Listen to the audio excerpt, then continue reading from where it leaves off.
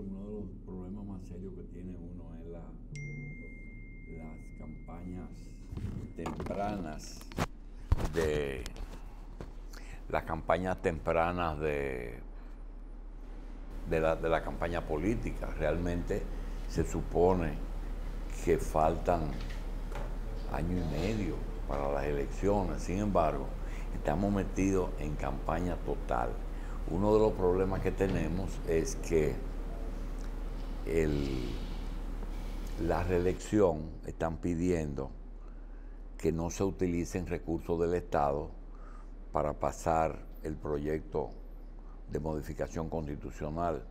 Y por otro lado, no se ha hecho nada con los candidatos que están tirando a la calle y que están en campaña sucias contra la reelección. Pero nada más se habla de una. Ese pleito no se va a resolver y las cosas que no se resuelven hay que dejarlas que ocurran. Nosotros vamos a, a decir que también está ocurriendo algo en el Ministerio de Agricultura que ocurrió y que ocurre cada eh, cierto tiempo en la policía. A veces Machi y yo hemos comentado que cuando un jefe de la policía tiene mucho tiempo, o si ese jefe de la policía no fue el que se esperaba que lo fuera, entonces dentro de ese organismo se desata una, un operativo contra el jefe policial que muchas veces se le acredita a la delincuencia y son ellos los que se destabilizan la paz para desestabilizar al jefe de la policía y demostrar que él no ha sido capaz de tomar medidas contra la delincuencia. Eso es viejísimo, eso viene de Ney Pérez y Pérez, que ellos tenían elementos que se ocupaban de eso. Hoy en agricultura hay que diferenciar cuáles son los problemas del gobierno por falta de presupuesto,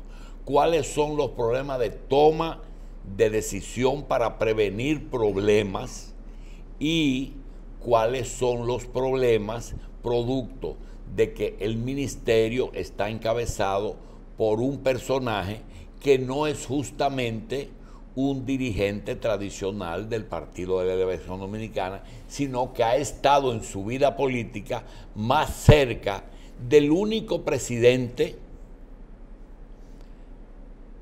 profesional de la agronomía que hemos tenido en la historia, que es Hipólito Mejía. Si usted revisa la actividad de eh, Osmar Benítez, se da cuenta que Osmar fue miembro de la Junta Monetaria de Hipólito Mejía.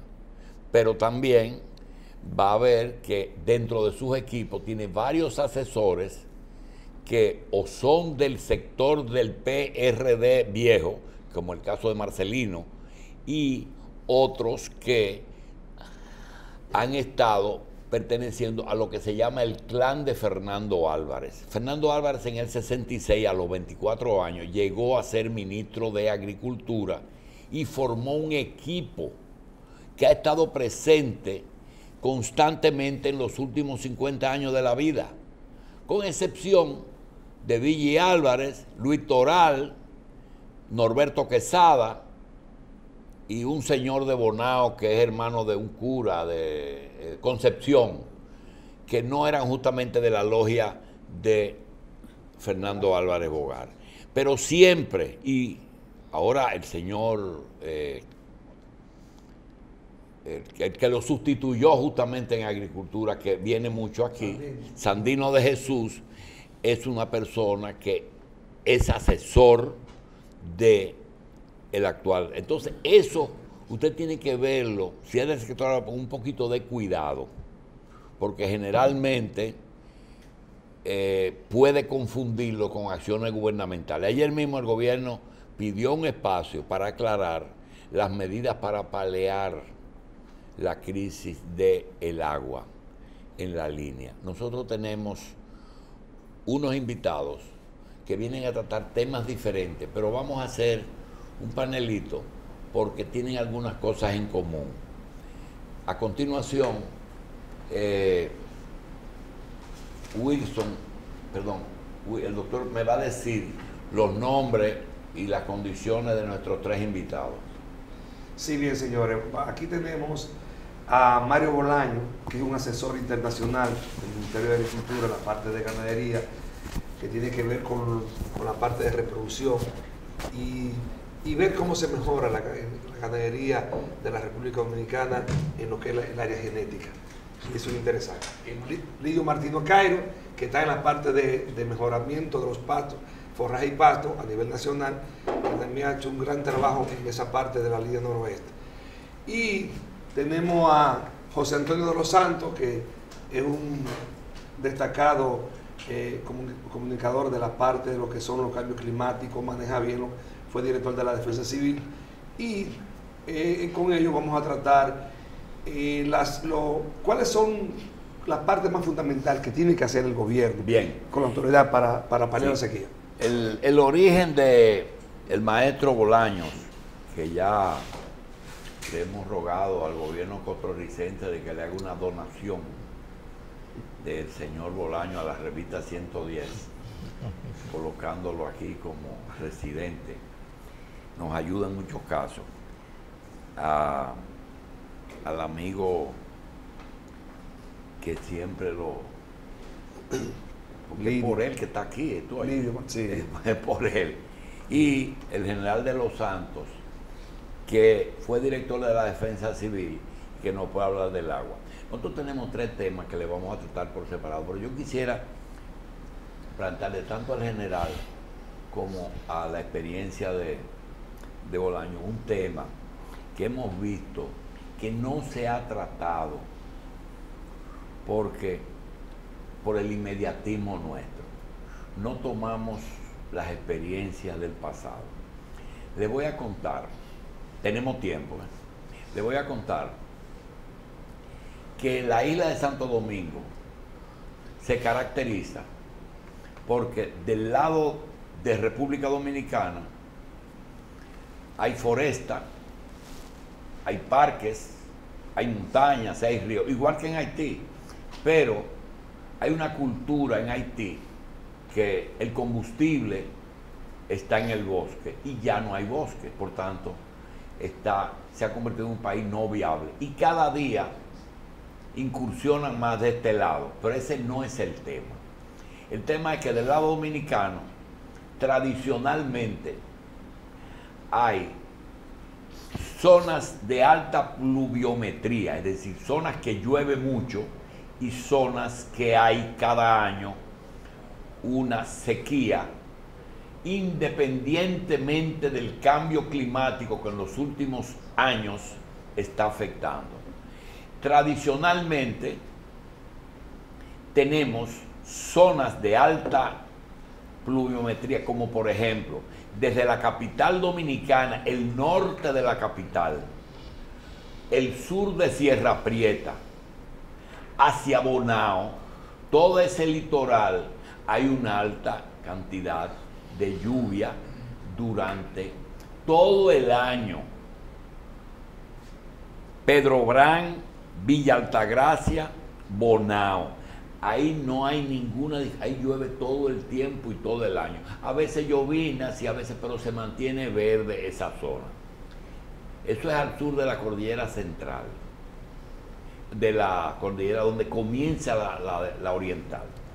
Por otra parte, tenemos zonas que siempre hay sequía, que es, por ejemplo, la zona desde Asua hasta Elías Piña, desde Asua hasta Elías Piña, hay sequía y eso se debe a la construcción de que en esa zona se han construido dos grandes presas y una que va a iniciarse ahora, pero se hace por la sequía. También tenemos que en la ladera de el, el nacimiento de los grandes ríos dominicanos, dos que se vierten hacia el Cibao, el Yaque y el, Yuna, y dos que se vierten hacia el sur, que son el el Nizao y el Yaque del Sur, pero nacen en el mismo lugar. Apenas en 50 kilómetros de la cordillera nacen esos cuatro ríos, dos vierten para un lado y dos vierten para el otro. Ahora, en la zona de Asua hay la, la presa y en la zona de San Juan hay otra presa, pero desde las matas hasta Elías Piña tradicionalmente. Es más, es más, la vegetación, si usted habla con un campeón, ¿qué hay aquí? Guasábara y cambrones. Te lo dicen los sureños, guasábara y cambrones. ¿Qué es eso? Las únicas dos cosas que se dan sin agua. Te lo dicen así mismo, las guasábara abajo y el cambrón arriba. Eso trae como consecuencia que son zonas de sequía siempre. En la línea noroeste tenemos una zona que va de Montecristi, da Jabón, un poquito de Sabaneta, que es Santiago Rodríguez, ¿verdad? Esa zona es la que más está eh, golpeando, pero tiene una particularidad de que es una zona ganadera y arrocera y que ahí desemboca el yaque del norte, lo que significa que el guineo y el arroz tuvieron garantizadas sus aguas con el final del río, pero si tú no tienes agua suficiente en todo el trayecto del yaque, en que hay dos presas sobre su, sobre su cauce, va a tener que lo que llega a la línea no está dando suficiente agua para el arroz y el ganado. Con un agravante, los criadores de ganado no se resisten a descontinuar esa práctica, pero tampoco toman las medidas que el gobierno, desde que yo tengo uso de razón, les dice, señores, cultiven pastos, córtenlo y guárdenlo. Pasto y melaza, cómprenla con tiempo y guárdenla. Hagan lagunas artificiales para el agua. Nunca lo hacen. ¿Qué hacen los ganaderos de eh, Sánchez, Samaná, Vallaguana, Monteplata y de, del Cibao Central? Que se van a la línea a comprar ganado flaco. Siempre han vendido, no se lo venden por libras, se lo vendían por cabezas y hacían un negocio bueno los que compraban, porque compraban el esqueleto, lo llenaban de carne y ganaban mucho dinero. Y los de allá tenían una ventaja y es que no perdían su ganado como lo están poniendo flaco y muerto, que no son tantos tampoco. ¿eh? ¿Qué es lo que está pasando?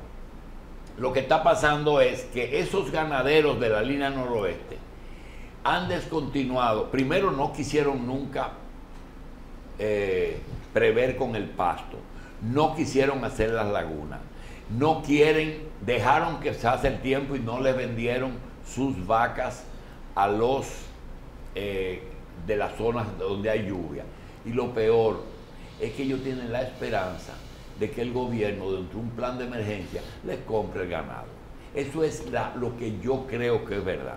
Yo quisiera sobre ese tema, que es vital, porque se está poniendo hasta que el gobierno es culpable de la sequía. Lo que ha pasado en salud pública. Hay una epidemia de chikungunya, el gobierno que tiene la cosa. Sí, los gobiernos tienen que prever y tienen que ayudar, pero hay que ver el origen. Yo quiero que el general primero y el profesor Bolaños nos diga el la tradición en Centroamérica sobre esos temas de sequías cíclicas, no por eh, el tema de, del cambio climático. Díganos, profesor. Eh, primero que todo, muy buenos días. E, e, es, muy importante, eh, yo, yo quisiera comenzar un poquito atrás Atrás, exactamente. E, en algún momento yo estuve en la zona maya y en la zona maya eh, una de las posibles. ¿Qué países son las zonas? Eh, Guatemala, México, hasta Honduras y algunas partes, Nicaragua inclusive Nicaragua, en Nicaragua y algunas eh, conexiones con Costa Rica. Resulta que siempre hubo una gran oscuranza de, de- debido a qué fue que los mayas como gran imperio desaparecieron. Las guerras, las hambrunas, y hay eso, y hay pruebas concretas de que en esos lados donde hay selva, que conste, o sea, no es la ausencia de árboles. Como- Belice hay selva. Exactamente. Resulta que en esas zonas hubo Espérese, cuando llegaron los conquistadores, ya el maya y el azteca estaba en declive. No, Azteca no, Azteca era su punto máximo. Tenochtitlán en ese momento, según tengo entendido, recordémonos que voy a hablar de, es una opinión, no, no soy historiador, eh, Tenochtitlán era más grande que Londres Ya. cuando, cuando los eh, eh, españoles Español. llegaron. Bien. O sea, era una gran ciudad, eh, muy bien urbanísticamente, bien diseñada, etcétera, etcétera. Pero volviendo a los mayas, eh, existen evidencias de que eh, en esas partes de la selva hubo periodos de sequía de más de 10 años. Ahora bien, entonces tenemos, tenemos realidades, tenemos una realidad. Eh, el lunes pasado nos informaron en una reunión que, en donde participamos don Lirio y yo, que el NOA había dicho que no había perspectivas prontas de lluvia. Y fue, fue muy gracioso porque salimos de la reunión y comenzó a caer un gran Aguacero. aguacero. Pero bueno, en la- donde necesitamos que llueva no está lloviendo. Exacto. Ahí es donde está el problema. Ni la cantidad de lluvia es la apropiada. Se vienen grandes cantidades de agua que no son, que no se absorben, sino que se y después no tienen la continuidad. que- algo así entiendo yo. Recordémonos que yo soy médico veterinario y No, pero vamos y- para los animales Eso ahora. es, eso es, eso es. Eh, nos dijeron, nos dijeron que tenemos esa realidad que usted estaba mencionando. A- ayer, yo, yo no debería hablar de esto, debería hablar don Lidio, porque él es el que más sabe de- en, en el área esta, pero yo ayer estuve regresando del el área sur de nuestro país, o sea, de República Dominicana. Estuve trabajando en Las Matas, estuve en Pedro Corto y en San Juan. Y me, me ha llamado mucho la atención, doctor y compañeros, de que en esos lados existe algo que yo realmente nunca había, lo, visto. Usted acaba de mencionar que son áreas de sequía recurrente. Sí, o sea, son lugares que ya se sabe que tienen grandes problemas de agua. Sin embargo, es el primer lugar que yo veo en donde los ganaderos y los agricultores, se han unido. ¿En qué sentido? Ellos producen el maíz para hacer silo, el ganadero se lo compra y me mencionan ellos que a pesar de que antes ellos tenían muertes por la sequía, en los últimos tiempos, este año, el año anterior, ya no hubo muertes por la sequía, no tuvieron que sacar el ganado y aún más, les voy a decir algo que es para mí, ustedes se recuerdan, eh, si alguno me ha visto antes o hemos conversado antes, yo, yo trabajo en la parte reproductiva del, del- del área de la ganadería. Eh, uno de los requisitos para que un animal se reproduzca es el estado de la condición corporal del animal que refleja cómo se está nutriendo. O sea, la condición refleja si se está nutriendo correcto o incorrectamente. Entonces, si no hay buena alimentación, no tengo reproducción. ¿Estamos claros? Es uno de los primeros requisitos que tenemos. Y es interesantísimo porque no solamente no tenemos animales muertos en la zona sur, sino que la condición corporal de los animales, yo tuve la oportunidad de estar en aproximadamente 35 fincas visitando a nuestros agricultores por el programa de Progana, eh, que está dando mucho apoyo en este sentido, sino que además eh, una de las primeras rutas de inseminación actuales que se tienen, eh, inseminación artificial en ganado de leche, se montaron en San Juan, en la zona de Barranca, en, en esa parte. Y interesantísimo porque eh, vamos a tratar de iniciar dos nuevas rutas, una en Pedro Corto y una en las matas de Farfán. O sea, tenemos sequía. Sí. Sí, eso es una cuestión que ya usted lo conoce, que siempre está. Pero hay una gran voluntad por parte de las asociaciones, por parte de los productores, para trabajar sobre el problema. Ya lo tengo el problema. Ya, yo, yo necesito es una solución. Exacto. Y yo no puedo estar recurriendo a, a- a- a ir esperando a que todos los años necesitemos esa solución para ver qué vamos a hacer.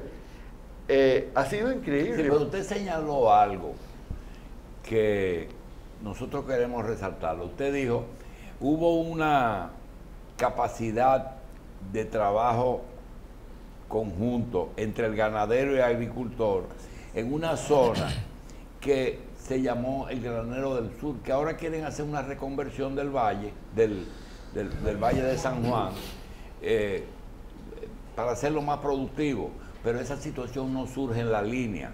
En esa línea solamente hay tres cosas, guineo, arroz y ganado, no hay más nada. Entonces, no han tomado medidas como costumbres coloniales, que se la voy a decir, y usted posiblemente la conozca, que son la que ya le mencioné de comprar ganado flaco para llevarlo a zonas y llenar eh, y aumentarlo de peso. Pero hay otra cosa que yo le puedo decir, en el Ceibo, yo no sé si usted lo conoce, la mayor cantidad de los terratenientes no son ganaderos, venden el piso a los otros y a Romana. Es decir, ¿qué es piso? Piso es, tengo una finca, tengo pangola, tengo hierba guinea, tengo las que, la estrella, lo que sea, y te alquilo o te vendo El corral. la, para que- la comida a cambio o de un porcentaje de la diferencia entre el, el peso que llega al animal hasta que se va, o sencillamente págame una suma por el resto del año. Entonces, esa es una costumbre que viene de viejo. Tú tienes piso si te lo alquilo. Eh, eso existe en otra parte. Sí, claro, nosotros lo tenemos. El piso. Es normal. Totalmente. Eso nosotros ya lo llamamos ganado a medias.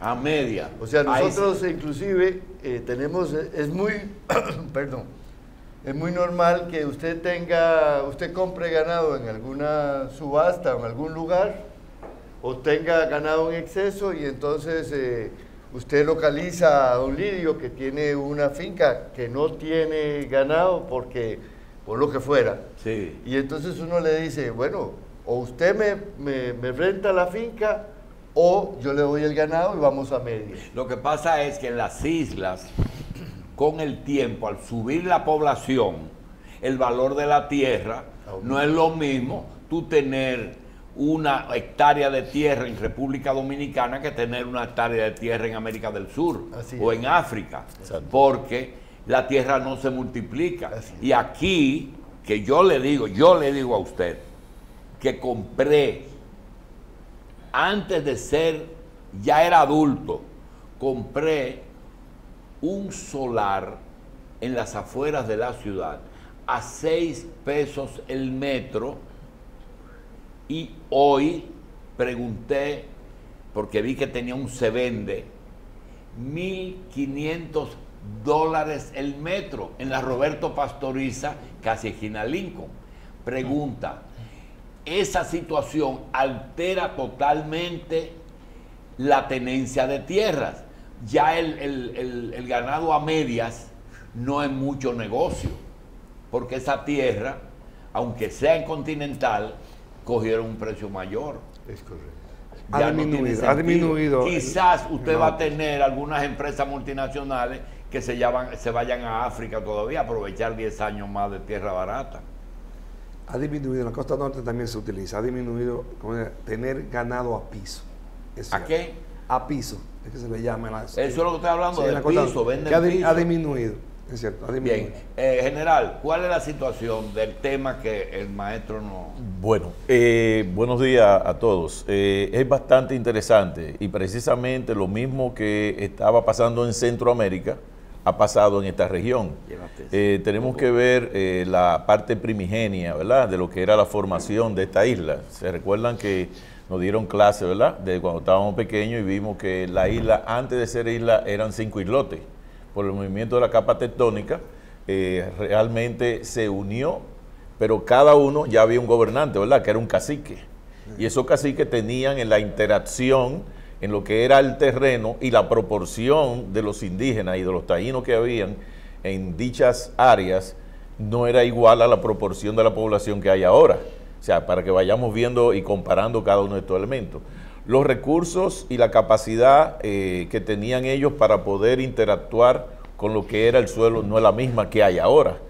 Eh, las temperaturas y el movimiento atmosférico es muy diferente a como estaba en aquel tiempo a este tiempo.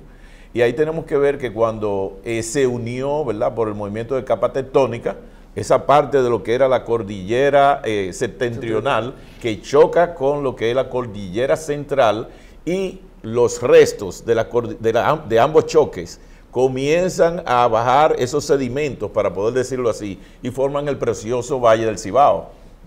Entonces, ese tipo de material eh, de- deja, eh, nos deja a nosotros eh, una clara evidencia de lo que ellos interactuaron.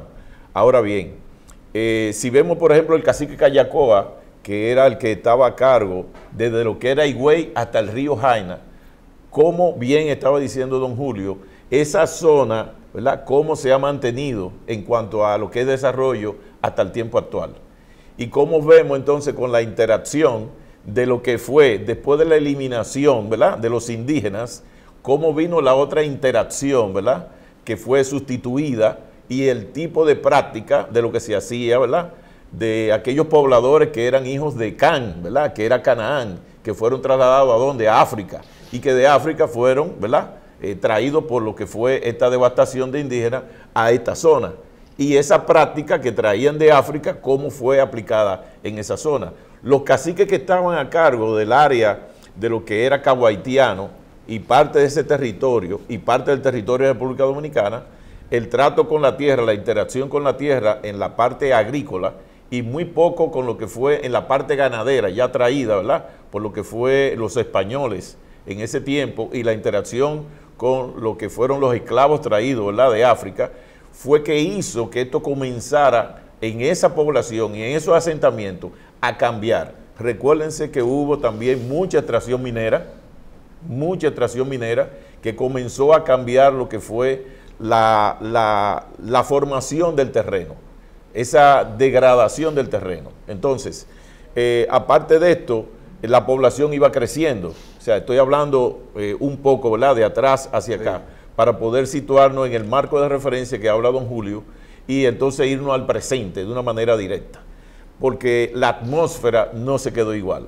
La interacción del hombre, ¿verdad?, en todo este aspecto y todo lo que eran los movimientos eh, geológicos y sísmicos fueron asimismo creando lo que fueron todos estos niveles de afectación. Entonces, Eh, antes que usted siga, sí, nosotros tenemos aquí un aparatico que nos hace la vida medio difícil. La gente empieza a preguntar cosas que yo no sé. Están preguntando si en, el, en la atmósfera hay elementos nuevos o han desaparecido los elementos que producían que el bombardeo de las nubes que se usaba antes hoy no se usa. Que usted que fue director de meteorología, De Defensa que Civil. usted está diciendo, ¿qué ha ocurrido que ya ningún país del mundo usa ese método? ok. Eh, realmente hay muchos países que lo están usando. Lo que pasa es que eh, hay algo que no están aplicando. Hay países que ya lo están haciendo por la, la diferencia. La clave está en formar islas de calor. Eh, Islas, no sea tan rápido. ¿eh? Sí, voy, voy a ir. Islas de calor. Islas de calor. Las islas de calor eh, son sencillamente ubicar terrenos cercanos al punto donde se quiere que se bombardee. Ah, ya. Ok, esos lugares que pueden ser de 6 a 8 kilómetros es para forrarlo con fundas negras biodegradables. Es para usted producir el tipo de nube. Lo que bien estaban preguntando es porque la atmósfera ha cambiado. Lo que estamos hablando es el nivel del pH, ¿verdad? Que sabemos la Que escala. un campo de invernaderos cubiertos de fundas negras de gran extensión produce un efecto en la atmósfera. Sí, porque ¿Qué el, tipo de- un el sol, exactamente, el sol cuando da en lo que son estas fundas negras, inmediatamente provoca vapor. Pero cuando Trujillo eso no se hacía y el, bombardeo lo existía. Sí, y cuando Balaguer también. En- cuando en ese periodo de tiempo eh, eh, también yo y participé. no es muy costoso cubrir un kilómetro cuadrado de fundas negras. No, no, eh, eh, es barato. Y ese es uno de los elementos para usted producir la nube que usted necesita. Porque es para crear eso. Es precisamente esa es la razón. Y no hay ninguna otra vegetación que sustituya la funda negra. Eh, no, no, porque esto hace que se pueda hacer mucho más rápido. eh, lo que es la formación eh, en calor ¿Y por qué cada dos grados. produce esas allá arriba? ¿Qué se produce allá arriba? Eh, ¿Esa nube de qué tipo? eh, nu- nube de tipo cúmulo o cúmulus nimbo, que tienen una buena formación, un buen desarrollo y que entonces se puede cargar. Lo que pasa es que hay amenazas, como por ejemplo eh, tormenta de polvo, eh, la tormenta del desierto, ¿verdad? Del Sahara Sí, que está sí, la que viniendo, decompone lo que es la, la nube y por eso si uno le echa un saco de sal a ¿Y esa es nube... sal lo que se le echa? Sí, sal en grano o yoduro de plata en una concentración que no puede pasar de 0.1 parte por millón. Porque si se hace más eh, de, de esa, de esa capacidad, entonces es nociva para Y el cuerpo yoduro humano. de plata no, no, No es- sala, no no hace daño al ser humano. ¿Él? El yoduro de No, plata. no, de- no, en esa proporción no. Si es mayor de ahí, sí. Eh, por eso cuando estaba en el INDRI, el, el ingeniero eh, Rodríguez, eh, Fran Rodríguez, él consiguió los 25, eh, tanquecitos de 25 galones y desde la Fuerza Aérea eh, se hicieron esas operaciones con aviones de C-3. Eh, se le colocaba en la base del, del avión dos lonas para proteger el aluminio de la sal, porque se la come, es corrosiva, y entonces se subían ahí la cantidad de sacos de sal eh, necesaria y los tanques de yoduro de plata. Entonces con esto eh, se subía encima de la nube, ¿verdad? Eh, de acuerdo a la información que se tenía en meteorología del radar y esa información se le pasaba al piloto. Esos aviones no tenían radar, por eso tenía que haber una comunicación. Esas zonas que hoy son de sequía tradicional, no de cambio climático, esas zonas, eh, si fueran boscosas, ¿hubiera lluvia o es porque, porque siempre serán así? Bueno, no. Lo que, lo que sucede es que debe de haber una interacción en cuanto a la humedad. Eh, debe de haber, eh, por ejemplo, para poder tener una planta, eh, hay plantas que son para poder producir agua atmosférica, ¿verdad? Generadora de agua atmosférica. Para eso tiene que haber unas condiciones que debe de estar en 7 y 25 eh, grados, eh, 25 grados Celsius. Eh, en esta proporción en la atmósfera, cuando interactúa el dióxido de carbono, entonces la baja a 5.2. Esa agua eh, tiene un nivel de acidez, pero ella es trabajada a través de lo que es esa planta generadora de agua atmosférica. O sea que es una solución. Sí, mire, la pregunta viene porque los seres humanos, y sobre todo los dominicanos, nos hacemos el loco cuando tú recibes una noticia de que en las fincas de, San, de Monte de Dajabón están muriendo las reses y te ponen unas reses muertas y tú dices, ah, eso tiene que ser en África. Sin embargo, nosotros que estamos en Arroyo Hondo o los que viven en Villa Altagracia o al- al- a la falda del novillero, dice, oye, pues eso tiene que ser en otro sitio porque aquí llueve todos los días. Entonces, eso es lo que trae alguna insensibilidad de parte de una parte de la población, igual que el agua. Te dice, Sí. Economiza agua. Uy, yo no tengo que economizar agua, a mí me llega agua todos los días porque, te- porque tiene un pozo. Exacto. ¿Verdad? Ahora, esa, esa, esa situación, ustedes entienden que tiene que tener, eh, Lidio, un elemento educativo que la gente entienda lo que está pasando.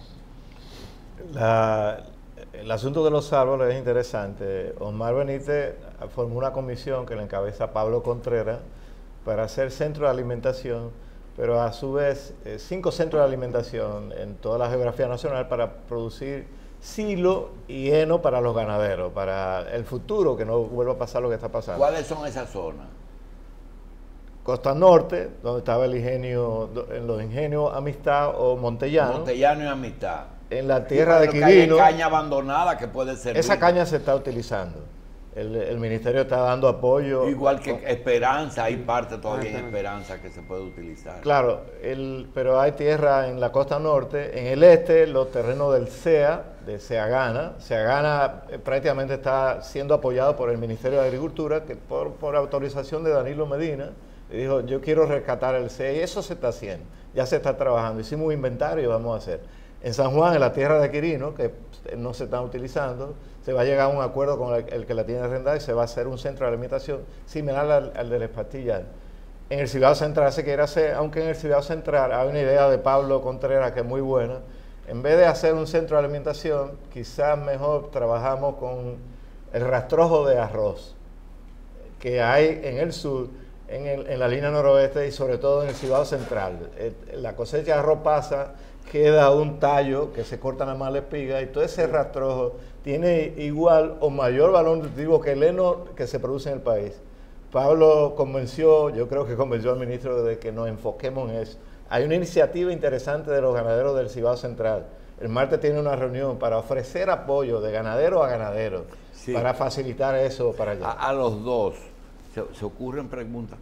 El, el afrecho de trigo y de arroz tiene un componente de trigo, de arroz y cáscara, pero la cáscara del arroz no sirve para nada. La cáscara tiene demasiado silicio y mucha lignina que no se digiere. La cáscara, la paja de arroz es mejor, la cáscara paja, sí, que es mejor, que uno le dice paja, pero la paja quizás es la que se va a empacar. ahí apare- aparecen estas preguntas. ¿Cuál es la razón po- por, la que el este del país, de Boca Chica hasta la Romana, hace 100 años eran bosques? Vinieron los americanos y decidieron que ahí se iba a sembrar caña y desmontaron todo el este y lo sembraron de caña. Sin embargo, con excepción del, del soco y del iguamo, que hay un poquito de vegetación.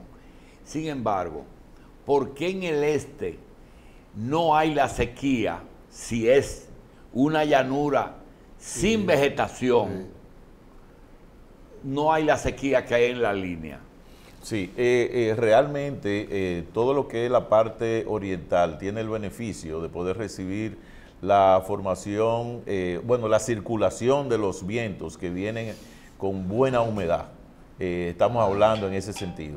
Por eso era que hacíamos ahorita la referencia que con una humedad, ¿verdad?, de 70, 70% y temperatura de 23, una planta regeneradora de agua atmosférica, o sea, que puede tomar de la atmósfera para producir agua, puede producir de 5 litros, 5 litros por hora y que esto puede ir en aumento. Por eso estábamos haciendo ahorita la comparación en ese sentido. Entonces, la humedad es bastante buena en dicha zona y esto eso aprovecha para todo lo que sería ese- esos niveles de plantación. Sí, en la parte de arriba.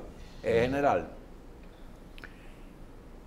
un polo turístico que no ha sido lo suficientemente explotado, cuando se habla de él, se habla que llueve mucho, que es la parte de Samaná, La Terrena y toda esa zona que está ahí al norte de la bahía, que llueve mucho y que los turistas están buscando sol. Entonces, desarrollar ese, ese polo no ha sido eh, tan exitoso como debería ser si se toma en cuenta que las playas más bonitas están ahí en la bahía. El tema de por qué en una isla tan pequeña, 48 mil kilómetros cuadrados, tú tienes tantas variedades de clima, clima, y microclima, microclima, exacto. de que tú te vas a la línea del noroeste y te vas a Constanza o te vas a Samaná y encuentras tres países diferentes. ¿Cuál es la razón que, un- que, que el, que la medio ambiente se comporte tan diferente en tan poco espacio Sí, yo le iba, le iba a completar precisamente por la circulación de- del aire. de los vientos? Eh, los vientos, ahí vemos la generación de los vientos alisios, ¿verdad? Y vimos Eso es lo que ahora... viene de África, ¿eh? el, Los vientos que vienen de África. Eh, no, hay una interacción entre lo que es la parte alta eh, de circulación de- de- del aire que viene de la parte norte, con una mezcla así, claro, de lo que viene de la parte de África. Ahora bien, eh, ahí hay un detalle en, esa circulación.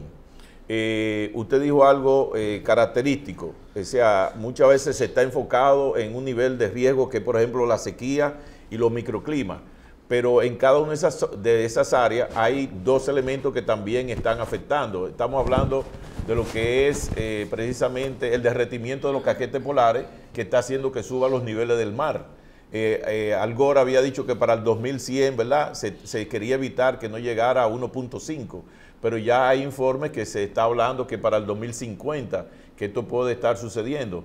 Pero lo, que es eh, el magma, como está subiendo tan rápido en el arco de las Antillas, que hay 70 volcanes activos, y en toda esa parte donde hay hielo, el, permafrost está desapareciendo el gas metano está subiendo y cuando e, entra en interacción con el sol, inmediatamente se enciende y eso provoca mayor contaminación que el hollín y que todo lo que está pasando. Entonces, ese calentamiento está haciendo que derrita y en esa zona, entonces a nivel turístico, vaya a preguntarle a los hoteleros por qué están creciendo y en todas las áreas deportivas y las áreas de la playa ellos están retirándose y entrando más hacia el mar. Vaya a Boca Chica para que usted vea eso. El informe que dio lo que fue eh, precisamente la NASA en relación a esto es que aquí hay 70 lugares que van a quedar con 14 metros por encima de agua. Entonces, eh, cuando vemos esta comparación, vemos ciertas zonas, entonces no podemos eh, ver el, aspecto o atenderlo de un punto de vista nada más exclusivo de riesgo, es multirriesgo porque hay una combinación. Entonces, la atmósfera sí realmente está cambiando y estamos viendo eso y la circulación se mantiene. Entonces, por eso cada país debe de dar una solución con los recursos que tiene. Bien. Con los recursos que tiene para poder hacerlo. Bien. En el día de ayer estuvo una viceministra de la presidencia hablándonos de las medidas para paliar la sequía. Posiblemente nuestros invitados estén eh, preguntándose por qué alguien que viene a hablar de genética, de reproducción en toros y vacas y una persona que viene a hablar de meteorología, nosotros hemos tratado de que es que hay en este momento del país hay muchísimos eh, elementos comunes en, ese, en esa dirección. Por ejemplo, ella decía que frente a una pregunta de por qué el Yaque del Norte, que es el río más largo que tenemos, nace en la cordillera central, en las montañas entre Bonao y Pedre las Casas. Y termina en la bahía de Manzanillo. Entonces digo, caramba, pero si en la montaña llueve, en Jarabacoa y Constanza llueven, porque hay sequía en la línea. Y bueno, por lo que llega es que hay prioridades del agua. Lo primero es agua para consumo humano. Dos, agua para consumo animal. Tres, agua para cultivos. Esa es la prueba de Higüey Aguacate. Un complejo de presas, de una presa que tiene tres presas sobre el mismo río, en el que tiene Higüey, Aguacate, Valdesia, Contraembalse de Valdesia, Acueducto de Santo Domingo, y dos canales, el Marco Cabral y otro más, sobre el mismo cauce. Entonces hay que proteger eso porque mantiene muchas cosas. Ahora, en ese segundo punto, después de humanos, animales o alimentos, porque se une, es decir, el arroz de la línea es tan importante como el ganado, porque lo doy para consumo humano. Sí. profesor, en el caso de, de la utilización, eh, el control no solamente de enfermedades, no, sino de rendimiento del ganado. ¿Qué es lo que se recomienda a esa gente que están afectados porque su ganado no obtiene los, el peso, y no solamente en una crisis como la de ahora, sino en cualquier limitación de, ¿Qué se les recomienda a esa gente que hagan en este momento? ¿Que dejen la crianza de ganado? No, no. Viera que volvemos otra vez al ejemplo de- del sur. O sea, ¿cuál es, el, ¿cuál es el sentido de las cosas? O sea, si yo recibo 100 pesos y gasto 105 pesos, Pierde. estoy frío. No puedo seguir adelante. O sea, hasta el momento en que yo no entienda que mi actividad es un negocio y como negocio yo debo de tratar de ser lo más eficiente posible, entonces tenemos dos, dos versiones de la historia. O lo entendemos a la buena o lo entendemos a la mala. Nosotros hemos tenido varias experiencias eh, que nos han mostrado esto. Hay que hacer una gran diferencia, doctor y compañeros, entre lo que es un ganadero y un mantenedor de ganado. O sea, Cierto.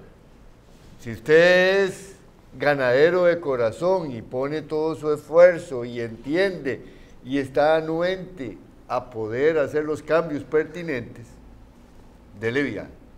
Si usted es un mantenedor de ganado que ante la primera situación adversa me tenga que echar para atrás, Se manda.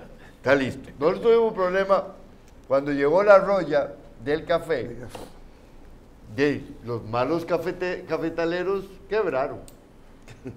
Sencillamente no pudieron aguantar el tren. Y usted se puede pre- eh, preparar contra la. Totalmente. To- eh, ahí es donde está. Hay que aprender. Ya yo tengo un problema. Yo tengo que tener, tengo que aprender a convivir con el problema. O sea, vamos a ver. Doctor, ¿Cómo usted- convivieron los suramericanos con la aftosa? Ah, eh, permítame para contarle todas ese tipo de cosas. Mire, lo mismo pasó con la roya, nos pasó con la broca, y después vine, ten- éramos apicultores, era muy fácil, teníamos una abejita que era eh, la abejita maya, me comprende, buena gente, todo arreglado, y de un momento a otro nos entró la abeja africanizada. Y comenzó a matar no solo animales, sino gente. Produce más miel, pero ya el manejo es totalmente diferente. ¿Quiénes quedaron? Los realmente, la gente que realmente era un trabajador en el área de la producción de miel. Eh, eh, o sea, República Dominicana o Uruguay, ahora que usted mencionaba, o los Estados Unidos, o Suecia, o África, no crea que los lugares son tan diferentes. Los problemas eh, de un lado son de una forma, tenemos que trabajar con ellos, los problemas en otro Bien. lado. Ahora voy, perdón, perdón, perdón. Un momentito, nada más para aclarar eso. Entonces, cuando, cuando, nos cae la, cuando nos cae la aftosa en América, eh, al primer momento eso fue desastroso. Ok, ¿y qué hacíamos? Bueno, nada, ahora hay que aprender a convivir con la aftosa. Tenemos que una vacuna que podemos utilizar, tenemos que mejorar y cambiar los manejos de las cosas y de esa manera, sencillamente, tenemos que continuar. Eh, ahí está Argentina con su aftosa y, y sigue produciendo carne y sigue siendo exitoso. Brasil, etcétera, etcétera, etcétera. República Dominicana no es una isla, aunque sí lo sea, no es una isla en el mundo. O sea, este es nuestro país, es, es el lugar donde estamos, es el lugar donde tenemos los problemas y los problemas hay que aprender Exacto. a manejarlos y, el- adaptarse. eh, adaptarse y a mejorar lo que se pueda mejorar. Aquellos productores que lamentablemente no se acomoden a las reglas del juego van a tener muchos problemas para subsistir. Yo no voy a decir que tengan que desaparecer, Ah, claro. pero van a tener muchos problemas para subsistir. ¿Cuál es la recomendación, doctor y compañeros? O sea, la opinión, no yo ni, ni siquiera me atrevo a recomendar Dios guarde esos pecados. La opinión mía es muy sencilla. Volvámonos eficientes. Este es nuestro negocio. O sea, usted tiene este negocio, ustedes, ustedes trabajan con la revista 110. Eh, ¿Por qué han durado 100 años en- con la revista 110? Porque ustedes ocupan un rating de primera línea. Porque ustedes cambian, ustedes se acomodan a los cambios de- de- del tiempo. Se han sabido adaptar. a- se adaptan, eh, mejoran cada día. Ok, esto, esto es lo mismo con el Entonces, ganado. Una pregunta, la reproducción animal, el toro que usted defiende aquí cada vez que viene, Qué verga. eh, el toro, primero, compite con la inseminación y segundo, el cambio climático, como usted dice, hay que tomarlo en cuenta para ese tipo de reproducción. O háblenos un poquito del toro ahora, que fue a lo que vinimos. El general nos va a esperar un ratico, que vamos a hablar de lo otro. No es de la hembra, y no es de la hembra también, doctor. Es correcto. to- La esposa del toro, Eso. que es la tora. La tora. Re- recordemos un principio básico. Una hembra con problemas es una hembra. Un toro con problemas son todas las hembras. Así es. Va, comenzamos por ahí. Sí. O sea, y para que el chocolate se dé, tiene que haber cacao.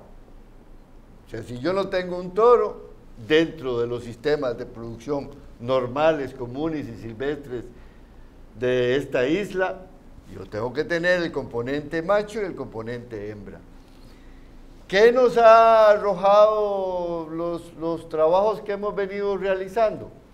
Eh, es de asustarnos que hemos encontrado tanto problema con los machos. No, es que antes nunca se había hablado del macho. Ahora que estamos hablando del macho, lógicamente estamos encontrando cosas. Yo no sé si ustedes, me imagino que sí, discúlpenme porque esa palabra, eh, esa pregunta fue incorrecta. Suecia es el país que más cantidad de violaciones tiene en el mundo. ¿Y ustedes saben por qué? No es porque ahí el macho viola más a la, a la mujer, sino porque es el país que más dice que tiene ese problema. Entonces, aquí en República Dominicana, el toro antes era un misterio. Yo tenía un toro, bellísimo, un gran animal ahí, y yo tenía una expectativa de que él fuera el mejor padrote. Pasa Bolaños por ahí, por ese barrio, y resulta que ahora aquel buen muchacho que yo creía que tenía, no era tan bueno. Entonces yo tengo una expectativa y tengo una realidad. Realidad. Ahí están haciendo un cuento, eh, doctor, sobre el toro. Ah, bueno. El toro del pueblo que usted se, se fundó allá en, ¿cómo se llama? Costa Rica. Costa Rica, se hizo famoso por la reproducción masiva que producía. Y resulta que cobraba mucho el dueño. Y el alcalde decidió comprar el toro para que a los productores les resultara más barata la inseminación con el toro. Compra el toro, le paga un buen precio al dueño y de buenas a primeras el toro se declara Incompetente. impotente. Lo llaman y le preguntan al toro, ¿qué pasa? Dice que ya soy empleado público. ya, soy em- ya no tengo que trabajar. Tota- totalmente. Eso es así. Así es, así Eh, una, una pregunta para que le incluya ahí. Doctor, están llamando y están diciendo que dentro de los prados de pastura, es decir, donde se usa mucho la leucaena y el samán, que creo que el samán es una leucaena, pero no estoy seguro. Una leguminosa. Leguminosa. Es una legumina. Bueno, que sí, eso sería una buena forma de, de lo que usted dice, de prevenir o porque en las zonas donde hay eso está más mitigado el problema. Hablan de los árboles grandes que producen vainas con mucha azúcar. Eh, realmente el ministro ordenó que se haga, que se apoye a los ganaderos en lo que se llaman sistemas silvopastoril. En eso se está. Y esos son dos componentes importantes. La leucaena como forraje, que también si se deja crecer se convierte en, en arbusto y, alguna, y en árboles para eh, lo que hablábamos de la importancia de los árboles para mantener la humedad y, para la alimentación. Esa man es una madera preciosa que no ah, tiene madera también. Claro, la madera es muy buena y es una de las especies que vamos a fomentar. Que ya medio ambiente tiene el, el samán en los viveros y se va a aprovechar esa planta para... ¿De dónde es originario? ¿De aquí? No, no, es introducida, el- pero está naturalizada, Es igual que la leucaena. Eh, Las dos son leguminosas y las dos son importantes para la ganadería. La línea noroeste hay ¿Y que necesitan reconvertirla. mucha agua esas dos? No. La- son dos especies, sobre todo la leucaena, hay que masificar la utilización de leucaena en la línea noroeste y se le va a dar apoyo a los ganaderos. Hay que aclarar que los ganaderos eh, tampoco en la línea noroeste no es que no han, eh, tenían en cuenta lo que podía venir en el futuro. Ellos sembraron caña en los últimos años. Lo que pasa es que el año pasado la sequía fue más grande que lo normal Yo y no la si caña tú- no creció. Yo no sé si tú recuerdas, porque Machi, tú y yo somos los más, menos jóvenes, que la famosa finca de los eh, de los a- eh, Aguayo, de los aguayos, una de, sus de sus eh, virtudes era que tenía mucho pasto abajo y muchas, mucho samán y, leuca- y, y ¿cómo se llama la otra? Y leucaena. Guama. No, no, básicamente la leucaena. Samán es lo que Samán. tiene mucho. Samán era Pero usted sabe que tienen también, Sí. que yo Tenían, y eso lo destruyeron. No, pero queda, eh, parte de los aguayos tienen el- alguna tierra ahí y tiene samán y tienen guásima, que, o guásima, Ah, que es un forraje de buena calidad y tiene componentes para controlar los parásitos de los animales. Ok, el otro elemento que no se ha querido hablar, se mencionó y lo evadieron ustedes los tres. La laguna artificial en lugares donde el nivel freático como emergencia, ¿está recomendado o medio ambiente se opone? Eh, eh, yo quiero decirle lo siguiente. Eh, es 100% que debería de tomarse, de tomarse en cuenta. Eh, cuando estuvimos en la Comisión Nacional de Emergencia, nosotros hacíamos ejercicios, ¿verdad? Hacíamos ejercicios con escenario hipotético de lo que pudiera estar sucediendo frente a cualquier evento. Y uno de los eventos era, era, fue, por ejemplo, la sequía. Entonces, en ese sentido, nosotros dejamos un plan integral de sequía que combinaba todas las instituciones con lo que podían aportar. Pero las lecciones aprendidas de esto y las recomendaciones entonces para poder paliar lo que serían estos eventos, era, uno de ellos era precisamente las lagunas. En México hay una experiencia en lo que, se, lo que son inclinaciones de montaña, haciendo reservoir, ¿verdad? Que se conectan de una hacia otra hasta llegar abajo. ¿ok? En, lo que son pendientes de 33.3, eh, punto 5, ¿verdad? Hasta más alta eh, en ese sentido. Entonces, usted decía algo de una viceministro que estuvo hablando con respecto a lo que son las diferentes presas. Eh, la, la lección aprendida con relación a eso precisamente tiene que ver que nosotros recomendamos, por ejemplo, en coordinación con el INDRE, la identificación de los diferentes ríos subterráneos, por Jima Abajo y todos esos lugares, hay cantidad de agua, ¿verdad? Que aunque puede tener un pH que puede rondar entre 6.3 a menos 8.5, esto se puede mejorar. Y entonces nosotros eh, coordinamos y recomendamos que se pudieran hacer obras hidráulicas de esos ríos subterráneos con tuberías grandes y estaciones de rebombeo a conectarla a los canales de riego. Esa era una solución que se planteó en el 1999 frente a lo que fue el conjunto ¿verdad? De, de funcionarios y de personas que estábamos ahí que hicimos esos ejercicios. Esa fue una recomendación. Y no es algo que medio ambiente ve con recelo, el que se saque agua del subsuelo. No, porque es que sigue recirculando, sigue recirculando. Y ahí es que vemos, por ejemplo, la lección aprendida, por ejemplo, de Israel. Israel no todos los ríos desembocan al mar, ellos lo aprovechan y hacen especie de reservoir donde ahí pueden tomar lo que son los sedimentos, o sea, una obra hidráulica donde se hace esto de esta manera y de ahí usted lo conecta a los canales de, de riego, en ese sentido. Vamos entonces a cerrar esto.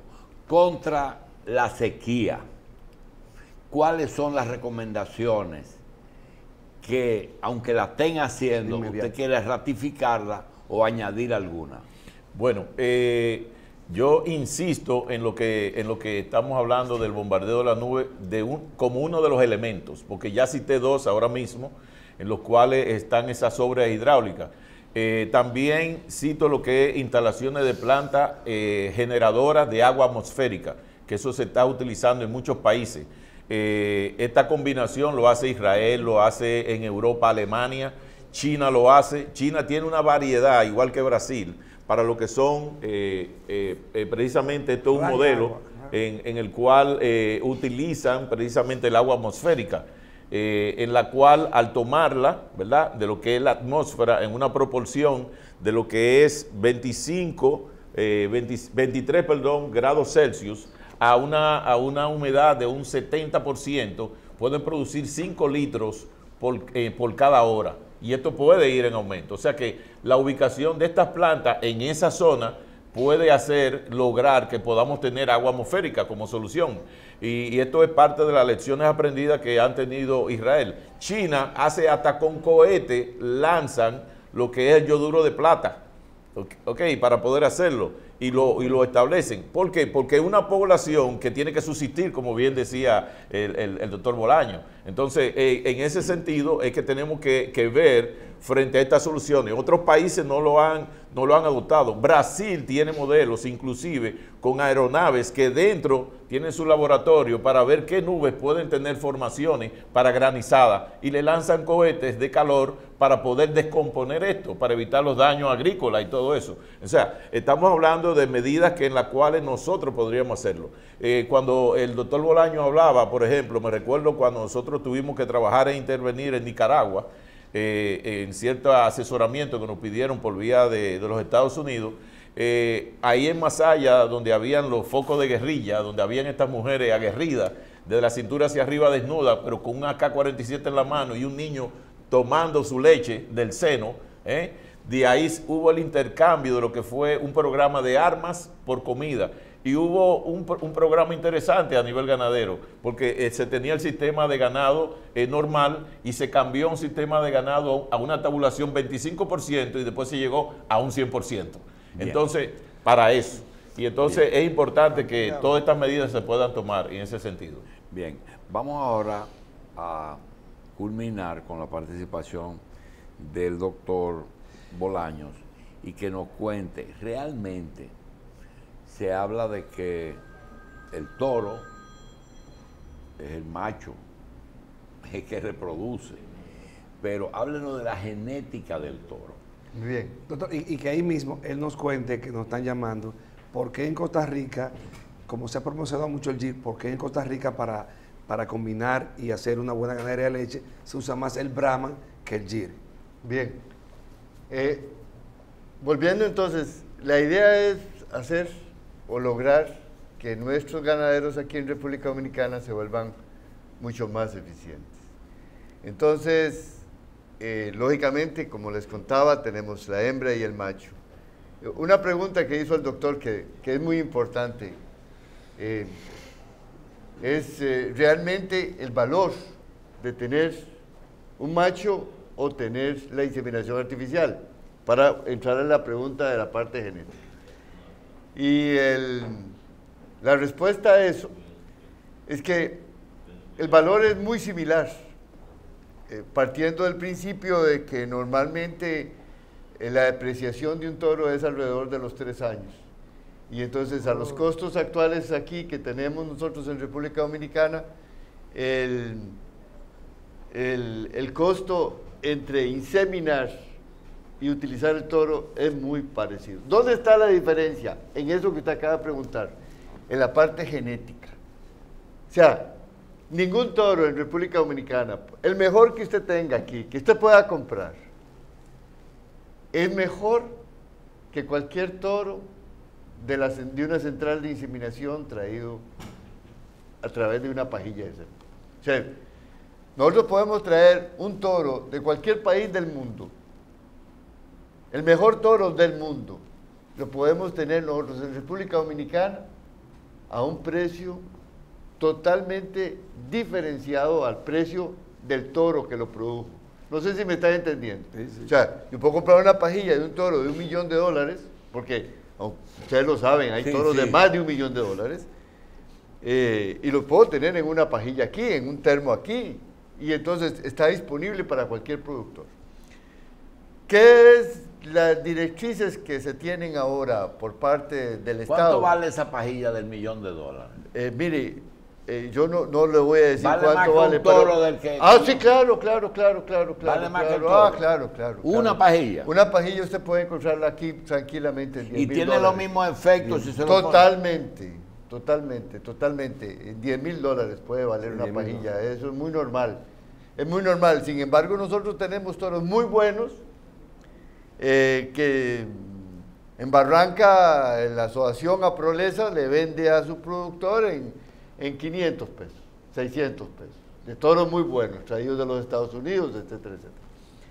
¿A qué voy yo? Que la genética nosotros sí la podemos manejar, sí la podemos hacer. Hay un requisito, la comida primero, el manejo de la finca, para que nosotros pongamos eso. Y por eso es que estamos insistiendo tanto en darle esa recompensa a todo ese esfuerzo que se está haciendo en este país por parte de algunos ganaderos para montarle sistemas de inseminación artificial a esos ganaderos, a esas asociaciones.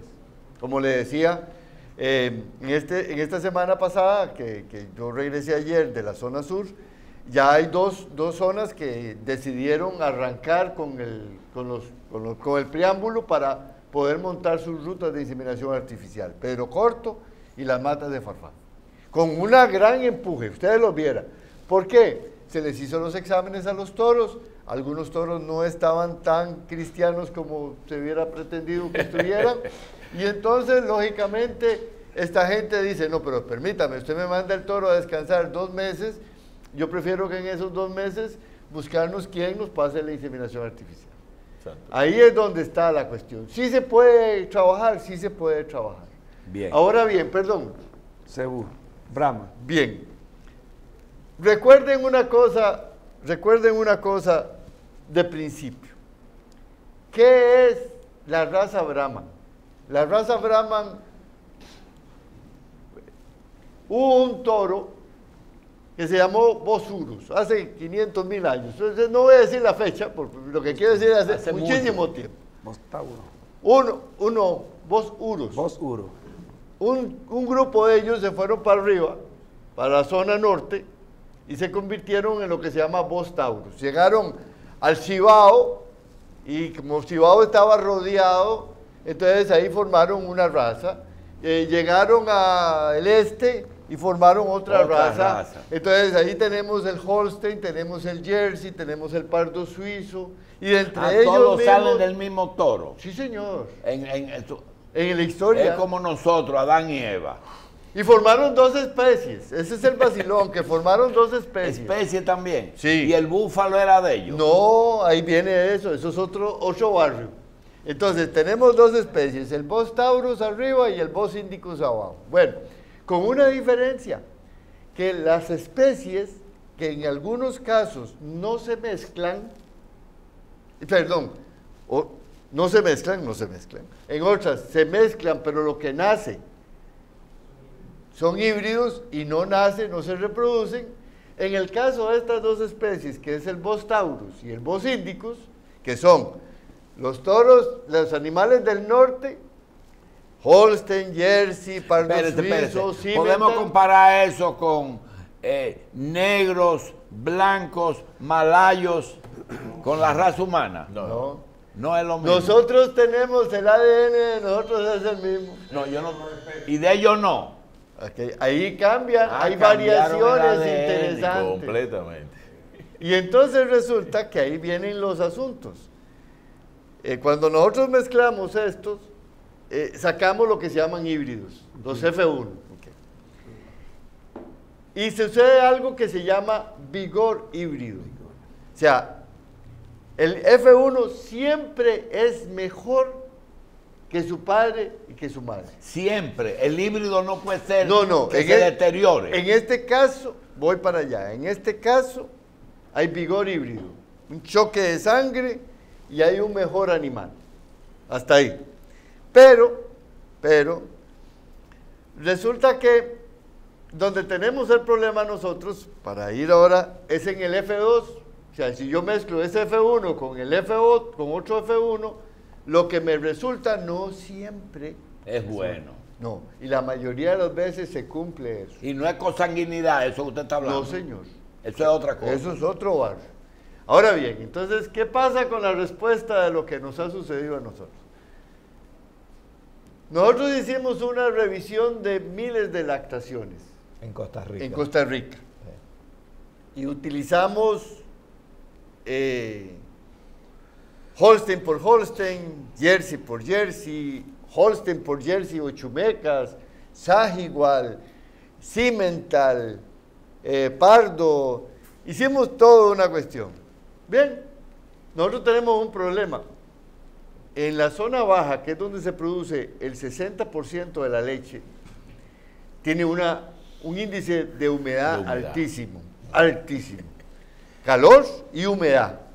Y tenemos un problema, que eso nos dedicamos a estudiar estos últimos años con, en la universidad, y fue que nosotros teníamos estrés calórico crítico, que es el, el punto en donde ya la vaca, a partir de ese momento, ya no produce.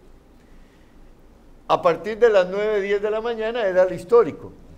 Y resulta que nos cambió en los últimos años a las 7 de la mañana. O sea, a las 7 de la mañana nuestras vacas se mueren fisiológicamente. O sea, ya no producen, ya apenas es, sobreviven, ¿verdad? Resulta que, volviendo otra vez a la parte esta histórica de- de la formación de las razas y esto, los norteamericanos tenían un problema con las razas que ellos manejaban cuando ellos los acercaban al Golfo de México, se le morían. Y entonces ellos comenzaron a cambiar y crearon una raza nueva hace 70 años, 80 años, que fue el Brahman. El Brahma. El Brahman realmente, eh, yo, yo no voy a afirmarlo, yo no soy genetista como, como, como genetista, entonces hay cosas que yo toco madera, no voy a hablar muy duro. Ellos hicieron un Bos Taurus acebuado, o sea, una raza europea, Sí. le cayeron encima con el cebú, con el Bos Indicus, y vemos ahora el Brahman que si usted lo ve dice, ¿cómo va a ser que ese tipo provenga del, del Bos Taurus? Y es un Bos Taurus acebuado. O sea, tiene muchos genes del Bos Taurus. Y entonces, ¿dónde está el vacilón? Que cuando lo mezclamos nosotros en Costa Rica, eh, para eso, porque para hablar y comer pescado hay que tener mucho cuidado, cuando, lo, cuando comenzamos a medir las producciones de leche de esos animales, F1, Brahman, con Holstein, Sí.